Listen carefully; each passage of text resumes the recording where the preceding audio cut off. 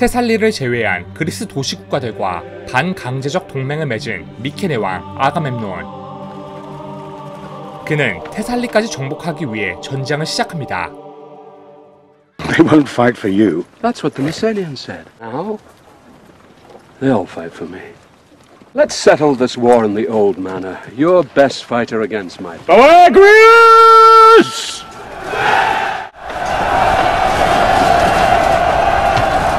Achilles! 하지만 이 중요한 순간에 나타나지 않는 아킬레스.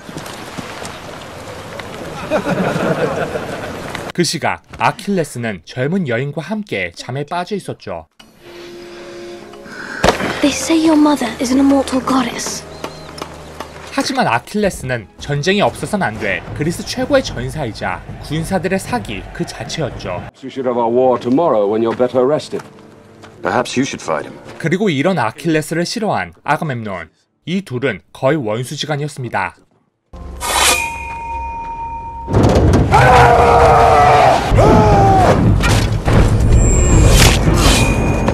역시나 단번에 적군을 처리한 아킬레스. Achilles, son of Peleus. 한편 그리스의 스파르타. 스파르타는 트로이와 동맹 협정을 맺게 됩니다. 스파르타의 왕 메넬라우스는 트로이의 두 왕자 헥토르, 파리스를 극진히 대해주었죠. 그러나 파리스는 사실 스파르타의 왕비 헬레네와 사랑하고 있었습니다. 그리고 결국 이들은 매우 극단적인 선택을 하게 됩니다. Come with me. That's what curses. But I love you.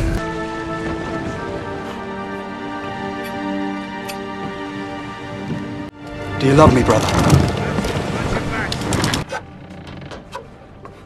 바로 파리스는 헬레네와 함께 트로이로 복귀하는 군함에 같이 올라탄 것이죠. My king! She left. With the young prince. Paris. 뒤늦게 이를 알게 된 메넬라우스. Do you know how many years our father worked for peace? I love her. what you say is true. 파리스의 사랑 때문에 간신히 쌓아온 트로이의 평화는 다시 흔들리게 됩니다. We have. For Troy! 한편 메넬라우스는 그의 형 그리스의 총사령관 아가멤논에게 이 사실을 말하게 되고. 평소 트로이를 곱게 보지 않던 아가멤논은 이때다 싶어 전장을 선포하게 됩니다.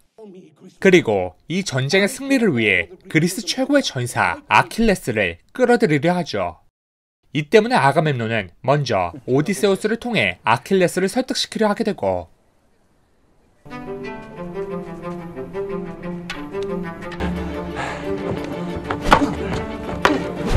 Your reputation for hospitality is fast becoming legend. We're sending the largest fleet that ever sailed. A thousand ships. Fact is, he's good a warrior, as they say. The best of all the Trojans. This war will never be forgotten. 결국 오디세우스와 아킬레스 어머니의 설득에 그는 전쟁에 참여하기로 합니다. Tonight I decide. If you go to Troy, the world will remember your name. For your glory walks hand in hand with your doom. 한편 트로이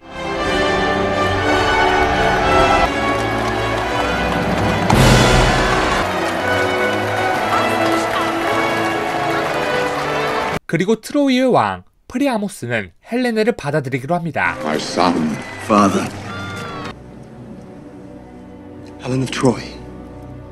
I've heard rumors of your beauty. I know this is the last thing we need. It is the will of the gods. Everything is in their hands. Something has changed in him. If we send her home to Menelaus, he will follow her. 아들 파리스를 위해서라면 전쟁까지 불사하겠다는 트로이 왕. 그렇게 이들에겐 결전의 시간이 다가옵니다. 드디어 그리스의 수천 대의 군 함선이 트로이 앞바다에 나타난 것이죠.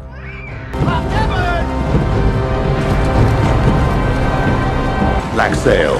그리고 나타난 아킬레스. Going to take the beach of Troy with 50 men? I'm fighting the Trojans, cousin. Not today. I can't fight the Trojans if I'm concerned for you. Guard the ship. 트로이 군도 헥토르와 함께 전쟁 준비 중이었죠. Troy is mother to us all. Fight for her! Immortality! Take it! It's yours! 아킬레스는 최정의 전사 50명과 함께 전쟁의 선두에 서게 됩니다.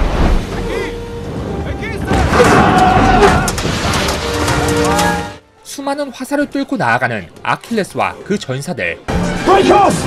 Break off! 아킬레스 돌진은 그리스군에게 엄청난 사기를 심어주었죠.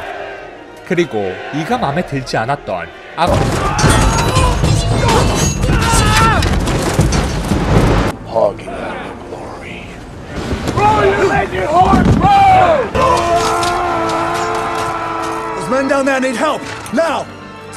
me!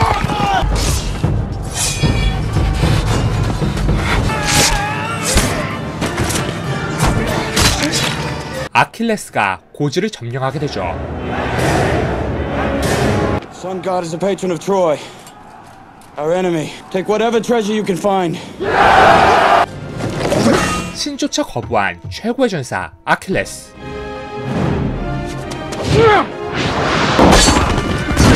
그는 단번에 적군의 장수 텍톤을 죽여버립니다.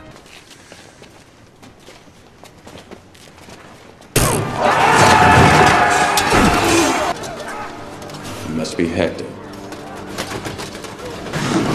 Fight me! Tomorrow we'll have our war. You speak of war as if it's a game. 그렇게 첫 전투에서 승리한 이들 A great victory was won today. But that victory is not yours. 하지만 전투에 의해 죽은 자들이 너무나도 많았죠. 그리고 포로로 잡힌 신전의 사제 브리세이스. 그녀는 헥토르의 사촌이자 왕족이었죠. You don't need to fear me, girl. You're the only Trojan who can say that. 다음날 또다시 결전이 다가오고 있었고 왕자 파리스가 헬레네와 트로이의 명예를 걸고 스파르타의 왕과 결투하기로 합니다.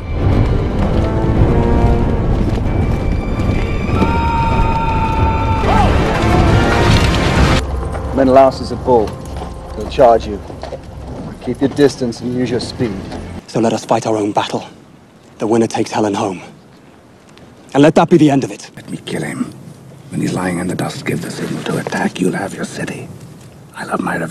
그렇게 메넬라우스는 아가멤논을 설득하고 파리스와 결투를 하게 됩니다.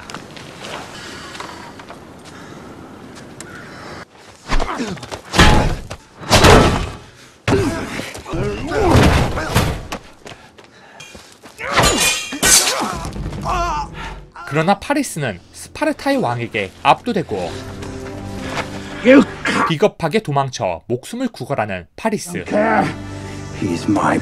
그때 결국 아가멤논은 더 분노하게 됩니다.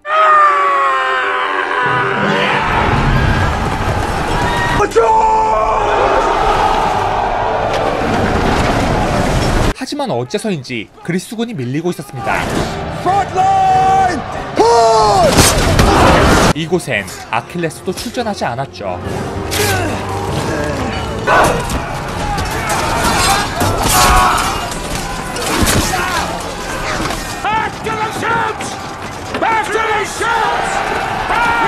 And an emissary to the Greeks. Tell them they can collect their dead. 결국 트로이의 승리. 수많은 희생자가 있던 그리스군은 사기가 바닥을 쳤고 이에 대한 해결책은 단 한 가지였죠. To protect Greece, not your pride. Your private battle with Achilles is destroying us. He's as likely to spear me as speak to me. I'll talk to him. 결국 오디세우스가 나서 아킬레스를 설득하기 시작합니다. 한편 기세 등등한 트로이는 그리스군의 사기가 꺾인 틈을 타 전면적으로 돌파할 계획을 짜게 됩니다. Prepare the army. The gods envy us. They envy us because we're mortal. Everything's more beautiful because we're doomed. I thought you were a dumb brute. 아킬레스는 적군의 포로 브리세이스와 사랑에 빠지게 되고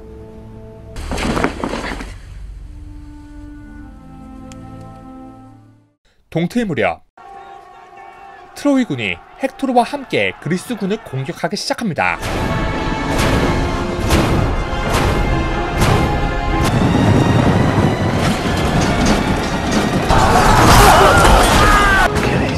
그때 아킬레스의 등장으로 그리스군은 다시 힘을 얻게 되죠.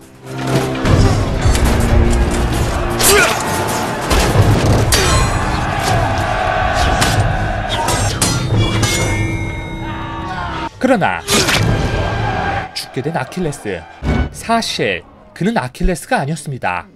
바로 아킬레스의 어린 사촌 동생 페트로클루스였죠. Not for one day. Where's Patroclus?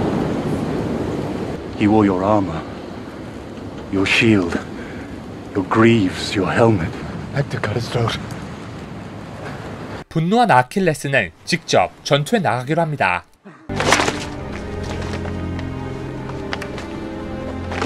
헥토르 또한 이를 예견했죠.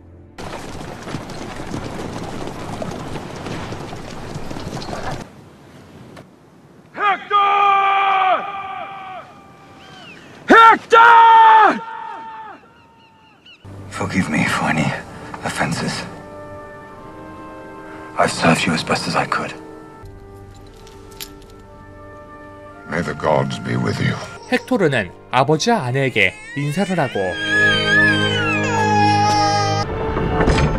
출전하게 됩니다.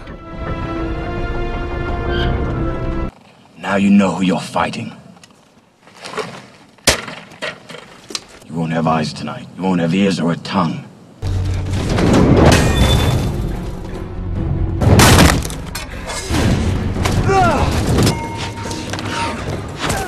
아킬레스의 검술은 압도적이었습니다.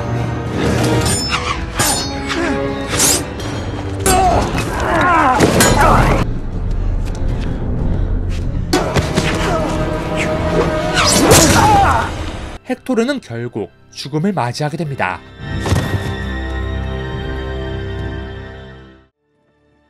복수에 성공한 아킬레스.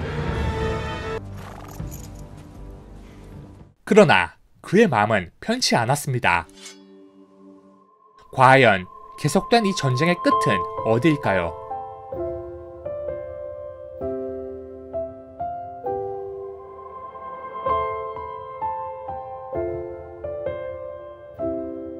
영화 트로이는 역사적 사실을 각색한 영화입니다. 전쟁의 직접적 원인인 헬레네의 납치와 아가멤논이 이를 명분으로 그리스 연합군을 결성해 트로이를 침공한 건 역사적 사실을 따르고 있습니다. 하지만 헥토르가 파리스와 결투를 벌이던 메넬라우스를 죽이는 장면부터 이 영화는 완전한 픽션으로 이야기가 전개되는데요. 그 이유는 실제 메날라우스는 전쟁이 끝날 때까지 생존하며 마침내 그의 아내 헬레네를 데리고 본국으로 돌아가기 때문입니다. 이 밖에도 여러 장면에서 실제 역사를 많이 각색하였습니다. 장차 몇 년에 걸친 전쟁을 영화 상영 시간에 맞추기엔 분명 쉽지 않은 작업이었을 것입니다. 그러나 이 영화의 감독 볼프강 페터젠이 전쟁과 사랑이라는 주제의 틀 안에서 흡입력 있게 이야기를 납축 및 연출한 건 분명한 사실이라고 말할 수 있겠습니다. 영화 트로이는 신들이 완전히 배제된 인간에 대한 인간 드라마입니다. 원작 일리아드에서의 아킬레스는 본래 신들의 충고를 사려있게 받아들이는 인물로 나오지만 본 영화에는 그렇지 않습니다. 오히려 그의 모습은 무신론자에 가까웠죠.